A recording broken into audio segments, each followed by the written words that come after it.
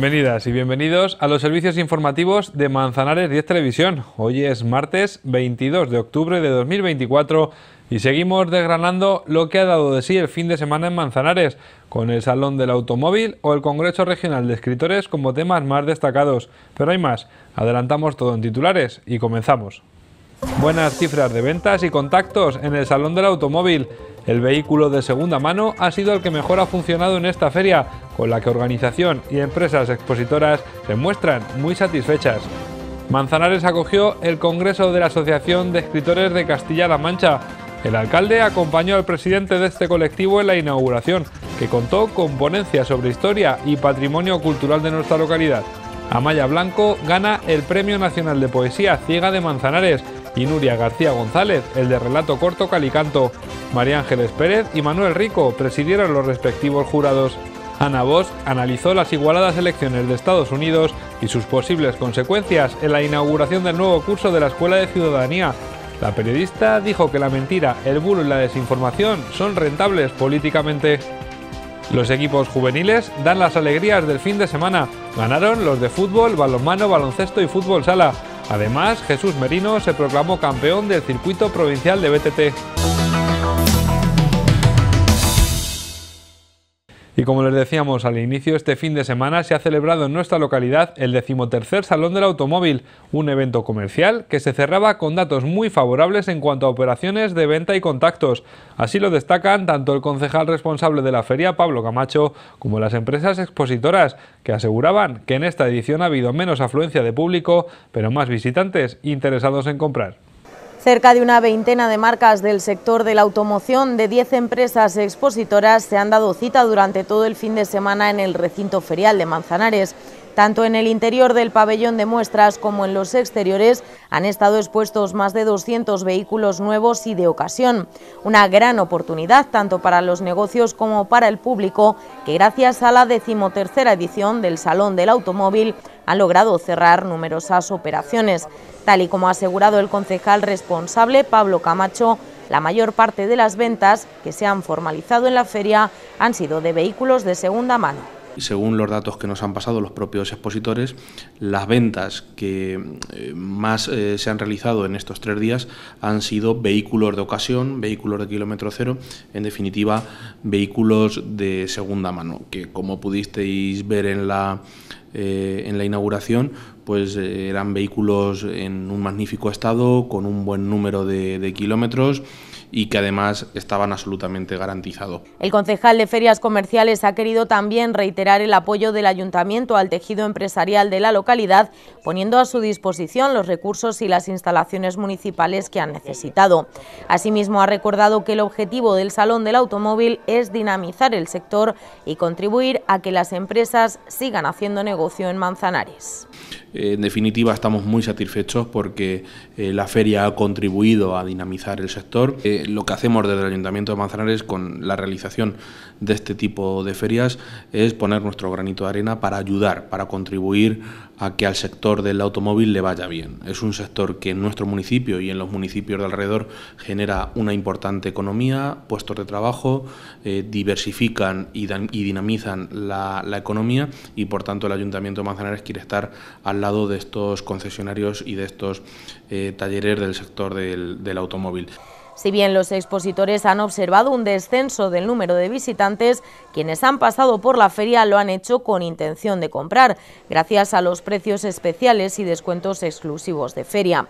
No solo se han cerrado ventas, sino que también se ha logrado crear contactos, así lo declaraban en el último día del salón.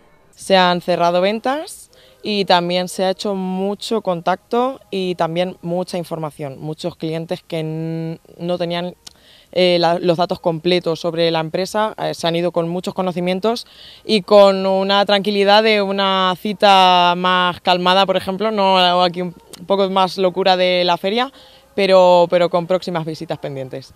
Para este año bastante positiva, aunque ha habido muy poca afluencia, pero ha sido gente más profesional que en otros que en otras opciones. Y se, se han cerrado algunos coches y se han hecho algunos contactos también de cara a futuro como todos los años, siempre muy positiva, una afluencia de gente muy interesada en comprar coches. Sí que hoy en día se nota que la gente ya viene sabiendo lo que quiere, lo que busca, entonces bueno, eh, se agradece porque además van más derechos al producto que tenemos y sí, bueno, pues como todos los años con las expectativas cumplidas, a falta de tratar de posiblemente se cierre alguna operación más. Cuanto a tráfico de público en general ha estado más bajo que en otras ocasiones, pero las expectativas de cierre han sido buenas. Realmente nos vamos con algún que otro pedido bastante interesante. Probablemente haya habido menos tráfico, menos gente, pero sí gente más interesada y realmente compradores. El decimotercer Salón del Automóvil llegaba a su fin el domingo con el cartel de vendido en muchos de los vehículos expuestos. Buenas sensaciones por parte del sector y la satisfacción de haber sido un año más una cita consolidada que cumple en cada edición con su objetivo.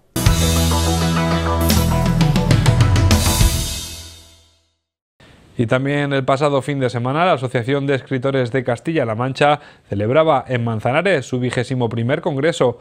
En su primera jornada, en la que la biblioteca acogió más de una veintena de ponencias en formato reducido sobre historia y patrimonio cultural de Manzanares, el alcalde Julián Nieva fue el encargado de inaugurar el evento junto al presidente de la entidad, Alfredo Villaverde. El vigésimo primer Congreso de la Asociación de Escritores de Castilla-La Mancha comenzó con la proyección de un vídeo en el que se presentaba Manzanares a través de sus museos y edificios más emblemáticos, sus fiestas y tradiciones, eventos culturales, su gastronomía y su potencial económico. Un arranque que sirvió para poner en contexto a los presentes, llegados de diferentes puntos de nuestra región, y en el que el presidente de este colectivo, Alfredo Villaverde, estuvo acompañado por el alcalde Julián Nieva. El primer edil destacó la apuesta del Ayuntamiento de Manzanares por la cultura en sus diferentes formatos, teatro, música, cine, presentaciones de libros, conferencias o exposiciones, así como los certámenes artísticos y literarios y otras propuestas como la que se daba cita el fin de semana en la biblioteca. Cerca de 200 actividades al año, según recordó Nieva. Esas 250 actividades culturales al año, esto también lo es, por eso tenemos un certamen nacional de pintura con 47 años ya de historia, o el 23 de, poesía o el 22 de relato corto. esa es la línea en la que queremos estar. Seguimos manteniendo el mismo compromiso y es un compromiso alineado con la cultura mm, como fórmula también para seguir avanzando en una sociedad y en un mundo de libertad eh, imprescindible para las generaciones futuras. El representante de la Asociación de Escritores de Castilla-La Mancha, que agradeció al Ayuntamiento su patrocinio y apoyo en la puesta en marcha de esta iniciativa, puso en valor la ciudad de Manzanares como una referencia en Castilla-La Mancha, tanto por su historia y cultura como por su desarrollo económico. Hoy es un verdadero, yo diría que honor y placer estar en Manzanares. Manzanares es venir al corazón de la Mancha, Manzanares es venir a una, yo diría que ciudad, porque bueno, aunque en su día fue villa, yo creo que ahora lo que tenemos que hablar es en la actualidad de las ciudades. ¿no? Y Manzanares es una gran ciudad porque eh, verdaderamente dentro de la región es un ejemplo a seguir. Este nudo de comunicaciones en el centro, en el corazón de Castilla-La Mancha, ha sabido, como decía, ahormar muy bien los valores patrimoniales, históricos, culturales y sociales el. El presidente recordó que a lo largo de sus 25 años de existencia, además de editar más de una docena de libros sobre Castilla-La Mancha, la AECLM ha realizado 21 congresos regionales en localidades de todas las provincias, con trabajos y ponencias que han versado sobre la historia, patrimonio, cultura y desarrollo de los lugares en los que se han celebrado un aspecto singular que, junto con defender los intereses de las escritoras y escritores de nuestra región, lleva por bandera la asociación. Este acto que refleja muy bien eh, el compromiso y la responsabilidad que impera en eh, nuestra asociación de escritores. Digo compromiso, compromiso que está en los fines fundacionales y que implica siempre el que vayamos ya durante 25 años de un lugar a otro de nuestra región, poniendo de manifiesto eh, eh, los valores eh, históricos, patrimoniales, culturales y sociales de cada sitio al que hemos acudido. La jornada contó con la presencia de la concejala de Biblioteca, Paqui de la Cruz, y el concejal de Cultura, Jesús Romero, así como miembros de la asociación y otras caras conocidas del ámbito cultural manzanareño. Tras la presentación inicial daba comienzo un programa con más de una veintena de ponencias centradas en la historia y el patrimonio cultural de Manzanares. Temas como la ermita de la Veracruz, los poetas, escritores y artistas locales, la prosperidad de Manzanares en la vid y las bodegas, los periódicos y revistas literarias locales y provinciales o el ejemplo de Lazarillo en la labor educativa del teatro fueron algunos de los que se abordaron en este ciclo de conferencias. Todas ellas se publicarán en un libro patrocinado por el Ayuntamiento de Manzanares. Este literario fin de semana en el que, como les acabamos de contar, Manzanares acogió el Congreso de Escritores de Castilla-La Mancha, tuvo su preámbulo en la tarde del viernes con la reunión de los jurados de los Premios Nacionales de Literatura que convoca el Ayuntamiento. Amaya Blanco es la ganadora del Premio Nacional de Poesía Ciega de Manzanares y Nuria García González del Calicanto de Relato Corto. El Premio Nacional de Poesía Ciega de Manzanares, dotado con 3.000 euros y la publicación del libro, ya tiene ganadora en su vigésimo tercera edición. Se trata de Amaya Blanco García por el poemario titulado La tinta de la luz. Así lo decidió el pasado viernes el jurado, formado por los poetas Cristóbal López de la Manzanara y Manuel La Espada, y presidido por María de los Ángeles Pérez López, poeta, profesora titular de literatura de la Universidad de Salamanca y Premio Nacional de la Crítica en 2022. A esta edición concurrieron 21 trabajos, de los que 8 se seleccionaron para la deliberación final. Ha sido un poquito más baja que en otras ocasiones, pero la calidad de los eh, ocho finalistas que, el jurado ha visto con todo detalle, eh, pues em, ha sido muy alta. Había varios libros más en los que mm, había bastante acuerdo, pero este tiene el consenso absoluto. La presidenta del jurado tuvo un especial recuerdo para el poeta Antonio Hernández, recientemente fallecido y que tantos años presidió el jurado de este premio que anualmente convoca el área de cultura del Ayuntamiento de Manzanares. La ganadora Amaya Blanco García es escritora, doctora en estudios literarios en sus contextos socioculturales por la Universidad de Las Palmas de Gran Canaria, especialista en enseñanza de la escritura creativa por la Universidad de Alcalá y como poeta ha obtenido varios galardones, además de ser incluida en varias revistas y antologías. Ha publicado el libro La W de Ediciones Carena en 2022. Como traductora literaria ha colaborado con numerosas editoriales desde su licenciatura en traducción por la Universidad de Granada.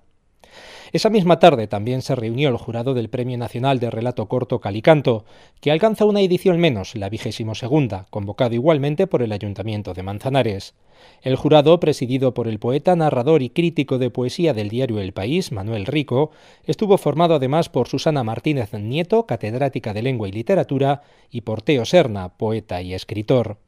Según dio a conocer el también presidente de la Asociación Colegial de Escritores, Manuel Rico, los 600 euros del premio junto a la publicación del relato ganador en la revista Calicanto corresponden al cuento titulado Cromático Universo escrito por Nuria García González. Es una escritora madrileña, nacida en el año 71 y bueno, con un cuento que se llama Cromático Universo, es un cuento que se desarrolla en un escenario especialmente duro, como es una cárcel, pero en el cual la narradora juega con los colores y con la fantasía de la libertad. Según Rico, se trata de un cuento muy bien escrito e innovador que sale de la pauta de relatos cortos pegados a la realidad. Pero yo creo que este era el más renovador, el más, el menos eh, previsible, el más eh, investigador en el lenguaje y en la, en la utilización de los colores que cobran vida que como si fueran seres humanos, el cian, el lila, es decir, los distintos colores que podemos conocer, los, especialmente los más llamativos, pues cobran vida y se convierten en personajes. La ganadora es licenciada en Ciencias de la Información y ha ganado numerosos premios de relato corto y microrelatos por toda España. Sus textos tienen un marcado carácter de denuncia social. Estos premios, junto a la presentación del libro ganador de la anterior edición del Premio Ciega de Manzanares, se entregarán en un acto cultural que se celebrará el próximo invierno. A poco más de dos semanas de que Estados Unidos elija entre el republicano Donald Trump o la demócrata Kamala Harris, la periodista Ana Bosch, corresponsal y experta en información internacional de Radio Televisión Española, inauguró el decimoséptimo curso de la Escuela de Ciudadanía con una charla en la que analizó la campaña norteamericana y las consecuencias internacionales de la victoria de uno u otra. En unos días volverá a Estados Unidos para cubrir sus sextas elecciones presidenciales y con notable presencia de público en la Casa de Cultura de Manzanares, demostró en la Escuela de Ciudadanía sus amplios conocimientos de la sociedad y política norteamericana e internacional, con una charla en la que también analizó cómo pueden influir los resultados en las dos importantes guerras que hay en Ucrania y en Oriente Próximo. Gane quien gane estas elecciones, va a apoyar al gobierno de Israel y va a defender el derecho de Israel a la autodefensa. Otra cuestión es el matiz con que lo haga, pero que nadie espere eh, un cambio espectacular en esa, en esa, en esa política. Para Navos, que ha sido corresponsal en Moscú, Washington y Londres y actualmente es analista y enviada especial de televisión española, Donald Trump es el candidato preferido de Netanyahu, pero también del Kremlin para el conflicto en Ucrania, que actualmente recibe un apoyo económico y armamentístico de Estados Unidos que se acabaría con el republicano en la Casa Blanca. Ucrania, sin la ayuda de Estados Unidos, se ha acabado, aseguró la periodista, que alertó de las consecuencias que eso puede tener en el resto de Europa. Nuestros socios limítrofes con Rusia, con la excepción de Hungría, nuestros socios están eh, convencidos de que si cae Ucrania, de que si Putin gana de alguna manera en Ucrania, luego irá por Moldavia, es decir, de rebote en Rumanía, en la Unión Europea, y los bálticos están convencidos de que también irá por ellos. Y eso ya sí serían cosas muy serias porque esos países son nuestros socios en la Unión Europea y nuestros socios en la OTAN. Autora del libro El año que llegó Putin, la ponente también habló de la relación que hay entre el presidente ruso y Trump y de cómo el Kremlin interfirió en las elecciones de 2016 a través de las redes sociales en favor del republicano, mediante desinformación y bulos que, según Ana lo único que pretenden es crear caos, inestabilidad e incredulidad en el resto de democracias para contraponerlas con la aparente estabilidad de la sociedad rusa la voluntad del Kremlin de Putin no es tanto eh, convencernos de algo fuera, en este caso convencer a los estadounidenses de que votaran por Trump, como de crear caos y de crear sobre todo incredulidad, porque sabe que cuanto menos se fíen los ciudadanos de otros países de la oficialidad, de las instituciones, de lo que les digan, más van a votar posiciones antisistema y más inestabilidad se va a generar en esas sociedades, que es en definitiva lo que busca. Las mentiras, los bulos y la desinformación siguen siendo bandera de Donald Trump en la presente campaña, con unos argumentos que, según Bosch, son rentables políticamente, como se está demostrando en todo el mundo. Llega así la recta final de unas elecciones de resultado incierto y enorme igualdad entre republicanos y demócratas, donde solo hay claras diferencias en intención de voto según el sexo. En todos los parámetros eh, se compensa la ventaja que lleva Donald Trump eh, con la eh, en, unos parámetros con la ventaja que lleva Kamala Harris por otra. Y son, son diferencias, aquello que se dice en el margen de error. ¿no? La, la, horquilla no es suficiente como para decir el único, el único parámetro en el que hay una diferencia clara, notable y aparentemente insalvable es el parámetro del sexo. Donald Trump eh, gana mayoritariamente entre los hombres, incluidos los hombres hispanos, incluidos los hombres negros, incluidos los hombres jóvenes, y Kamala Harris, en cambio, gana entre las mujeres. Kamala Harris, de ascendencia afroamericana y sudasiática, puede además convertirse en la primera mujer en presidir Estados Unidos.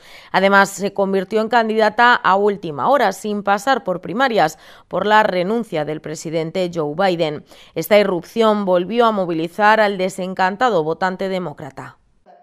Ana Bosch explicó las particularidades del sistema electoral de Estados Unidos, donde el presidente es elegido por los estados y cómo el resultado depende de apenas siete de estos estados. También de la posición ideológica de demócratas y republicanos en comparación con los parámetros europeos, con un Trump que ha convertido su partido en un movimiento reaccionario que ha hecho que insignes republicanos estén haciendo campaña a favor de Harris. La ponente, que también respondió a interesantes preguntas del público, no ocultó el miedo que existe a la reacción que pueda tener el trumpismo a una victoria demócrata, teniendo en cuenta que hace cuatro años no aceptó los resultados y provocó el asalto al Capitolio. Fue la primera sesión del decimoséptimo curso de la Escuela de Ciudadanía que contó con la presencia de Prado Zúñiga e Isabel Díaz Benito, concejalas del equipo de gobierno, así como del concejal José María Molina Prados. También asistió para mostrar el apoyo a esta asociación del Grupo Socialista en la Diputación la diputada provincial y alcaldesa de Villarta de San Juan, Irene Ruiz. Precisamente en el inicio del acto, el presidente de la Escuela de Ciudadanía pidió a la Diputación de Ciudad Real que recupere la subvención nominativa que quitó a esta asociación el curso pasado, puesto que siguen concediéndose este tipo de ayudas, algunas de las cuales citó. También demandó el apoyo de la Junta de Comunidades de Castilla-La Mancha e insistió en que estas aportaciones, que se destinan a empresas de Manzanares y de la provincia, permiten mantener un espacio de reflexión y debate por el que han pasado más de un centenar de personalidades desde que comenzó en 2008. La Escuela de Ciudadanía agradeció el apoyo del Ayuntamiento de Manzanares, Fundación Unicaja y otras empresas colaboradoras como la cadena SER, Onda Mancha FM, Bodegas Yuntero y Librería La Pecera.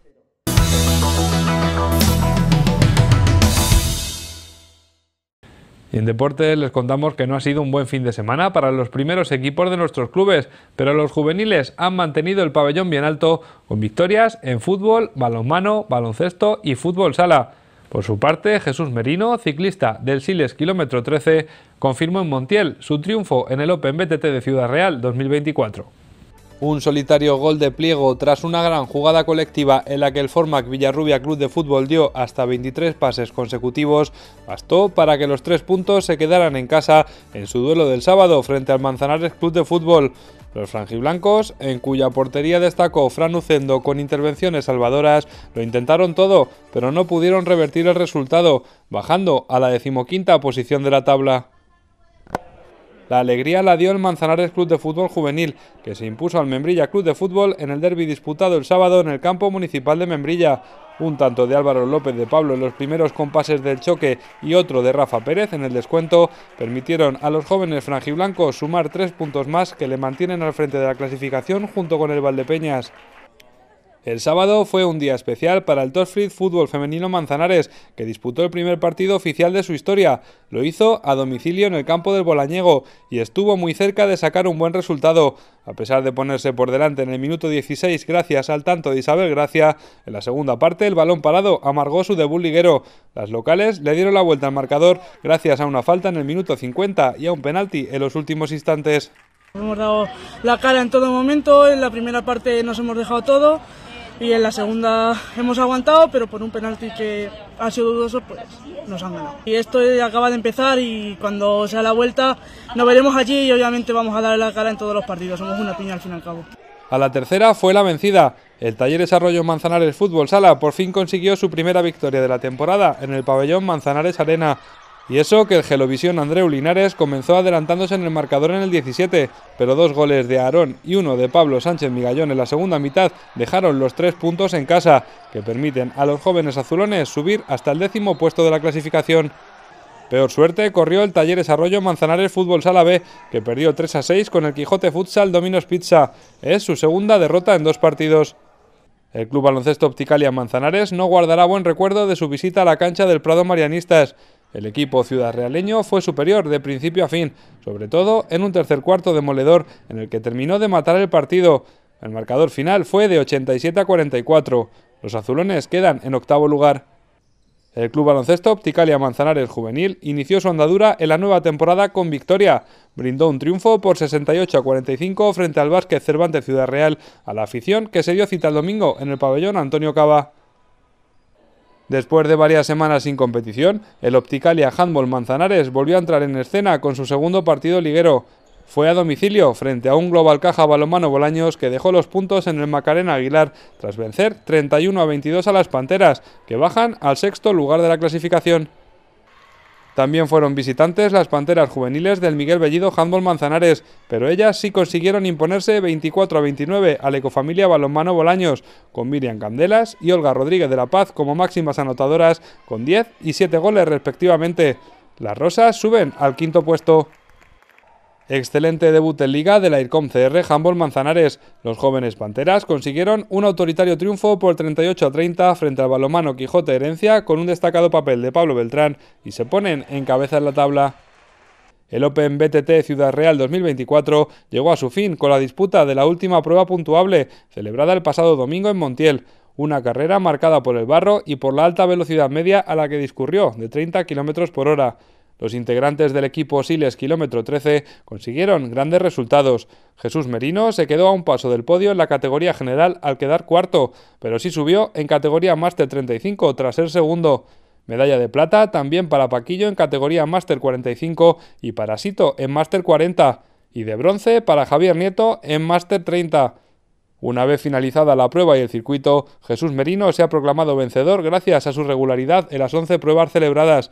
Además, Siles Kilómetro 13 ha conseguido el tercer puesto por equipos.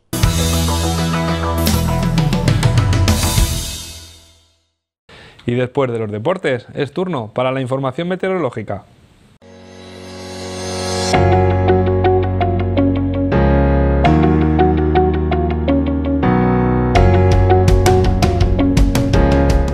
Más nubes que ayer en este martes de temperaturas similares, con mínimas que han sido de 11 grados de madrugada y máximas muy agradables de 24 esta tarde. Eso sí, ya con cielos más despejados. Para mañana, más nubosidad en las horas centrales del día, lo que mantendrá la templanza con subida de las mínimas a 12 grados y máximas similares en torno a 23-24 grados. El miércoles el viento será del este y con algo más de fuerza en la segunda mitad del día, en la que de nuevo se volverán a abrir claros. Hoy martes, en Manzanares, la farmacia de guardia es la de Ginés Antonio Pérez Fernández, en la calle San Marcos, número 53. Mañana miércoles, a partir de las 9 y media de la mañana, la farmacia de guardia será la de Clara Prado Díaz Santos, en la carretera de la Solana, número 15. Y antes de finalizar estos servicios informativos, repasamos nuevamente en titulares las noticias que nos ha dejado este martes 22 de octubre de 2024. Buenas cifras de ventas y contactos en el Salón del Automóvil.